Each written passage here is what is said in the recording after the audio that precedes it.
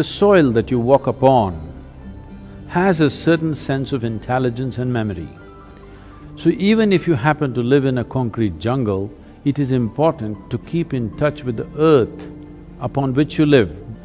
Create ways for yourself to somehow remain in touch with the soil or the earth upon which you live, that part of the earth.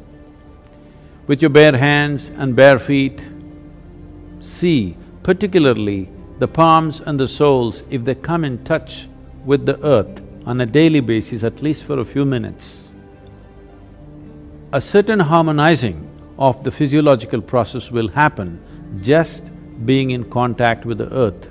If you spend at least a few minutes in your garden, barefooted, touching plants or trees, because this is the basis of your life. All life, yours and every other creature, has come out of this earth.